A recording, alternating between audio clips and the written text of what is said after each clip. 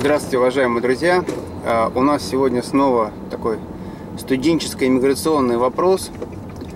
А, сейчас я его зачитаю, как раз красный свет на перекрестке. А, можно ли поехать учиться на какую-либо специальность, а затем получить рабочую визу, а после начать процесс иммиграции? И можно ли получить рабочую визу в статусе студента? Ну, чтобы можно было учиться и работать, чтобы было на что жить. Спасибо. Тут, собственно, два вопроса в одном вопросе. Вопрос номер один.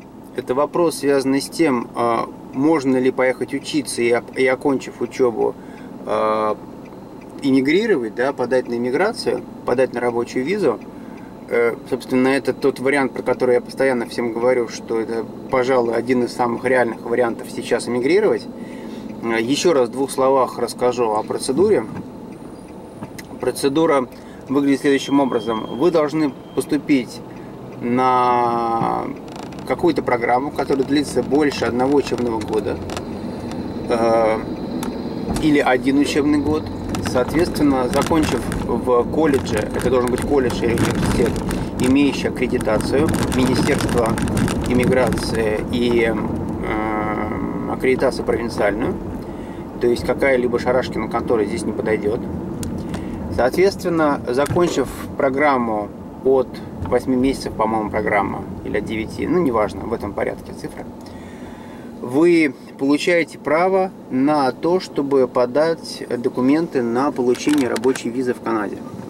То есть под э, соусом того, что вы experience class, вы можете получить работу в Канаде. При этом рабочая виза будет выдаваться ровно на тот же самый период, а, сколько вы отучились в Канаде. При этом срок действия рабочей визы не может, не может превышать, который вам дадут после окончания университета, не может превышать 3 года. Таким образом, что получается? Получается так, что если вы закончили программу там годичную, то вы получаете визу годичную. Если вы закончили университет там трехлетний бакалавр, то вы получаете трехлетнюю рабочую визу. Чем э, хорошая фишка, в чем хорошая новость для всех, кто думает по поводу такой, по поводу такой миграции, это э, вариант, связанный с, с тем, что отработав в Канаде 12 месяцев после университета, вы имеете право поменять свою рабочую визу на э, иммигрантскую визу, то есть получить статус постоянного жителя Канады. И, соответственно, в дальнейшем по новым правилам, прожив 4 года в Канаде, вы имеете право подавать документы на канадское гражданство. В чем здесь получается подвох? Подвох получается, что те программы, которые э, колледжей и университетов, которые длятся и дают специальность э, после одно, одного, одногодичного учебного одногодичного периода, то есть те, которые там 8 или 9 месяцев будут, они вам с точки зрения иммиграции не помогут, потому что получается, что вы получите иммиграционную визу только лишь на период, э, там, скажем, 8-9 месяцев, и даже если вы найдете сразу же мгновенно работу, вы не сможете подать документы, потому что вы не соблюдете необходимые условия. То есть проработать в Канаде после окончания университета не менее 12 месяцев. Вот такая грустная, собственно, засада есть, и вы должны это принимать э, во внимание, когда вы будете планировать э, свою миграцию через учебу. И теперь второй подвопрос.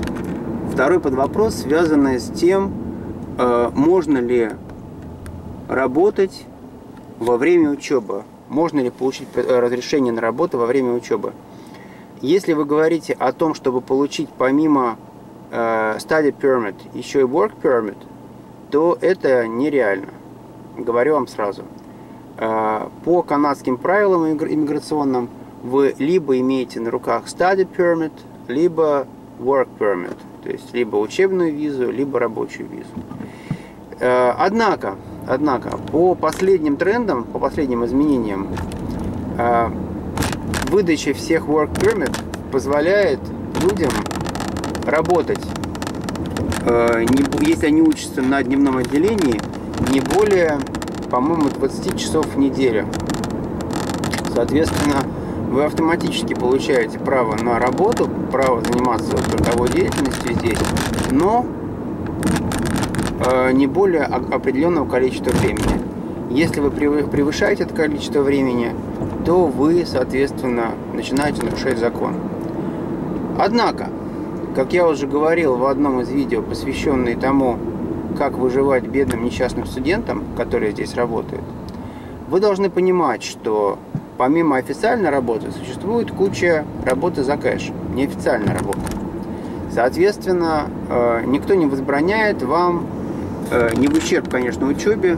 Конечно, по закону это возбраняется, и ай-яй-яй, но-но, я неправильные вещи говорю, но давайте будем взрослыми людьми и реалистами, что существует большое количество э, работ в серой зоне за кэш, и, соответственно, вы должны будете, э, точнее, вы будете иметь возможность э, договориться там через э, своих русскоязычных или там испаноязычных или китаеязычных друзей, э, которые будут говорить о том, что вот так и так, на ушко вам, имея в виду, дружище, через, там, не знаю, два дня нам потребуется человек, который будет, не знаю, там, забирать коробки у нас на складе. И за это мы будем платить тебе 10 долларов в час. Соответственно, соберешь, э, проработаешь много часов, получишь, много денег. Э, то есть вот так, вот такая ситуация.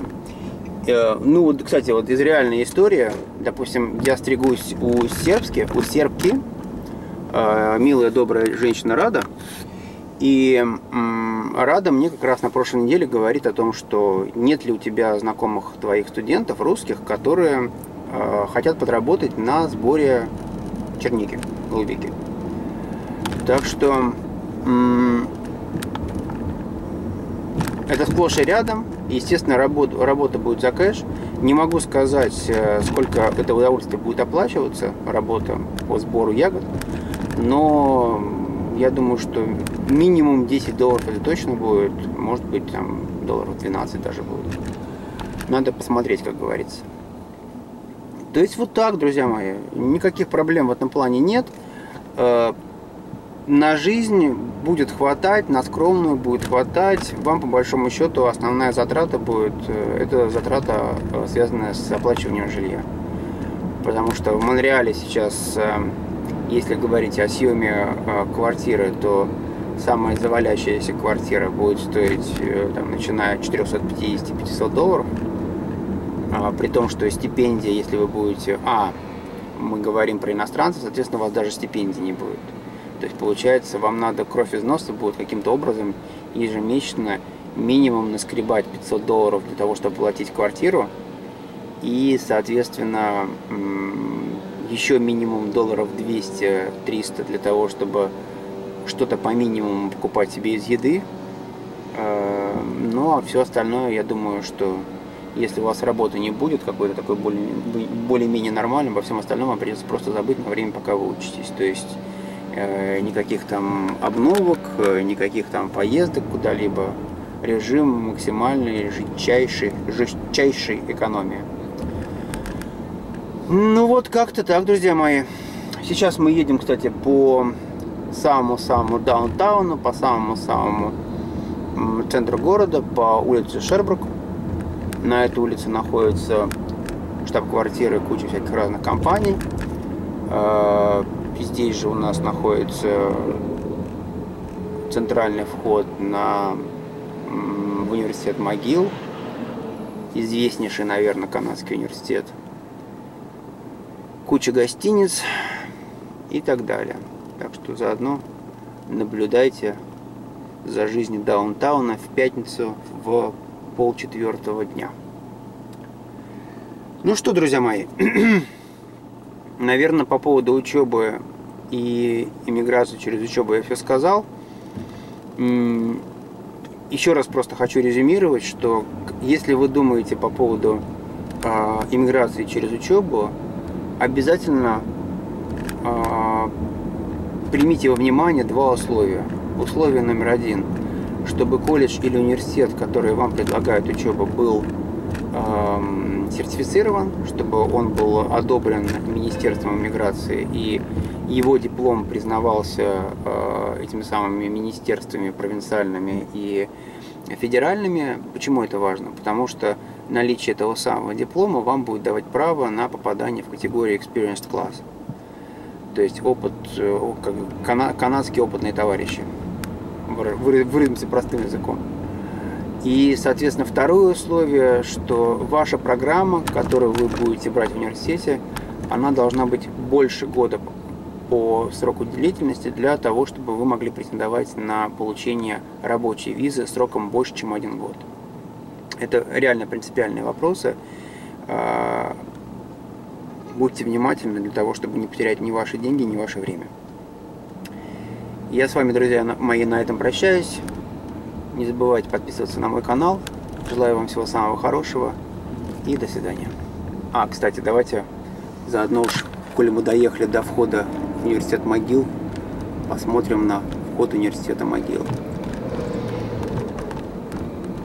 Такой вот он. Все, друзья мои. Прощаюсь с вами. Всего хорошего и до свидания.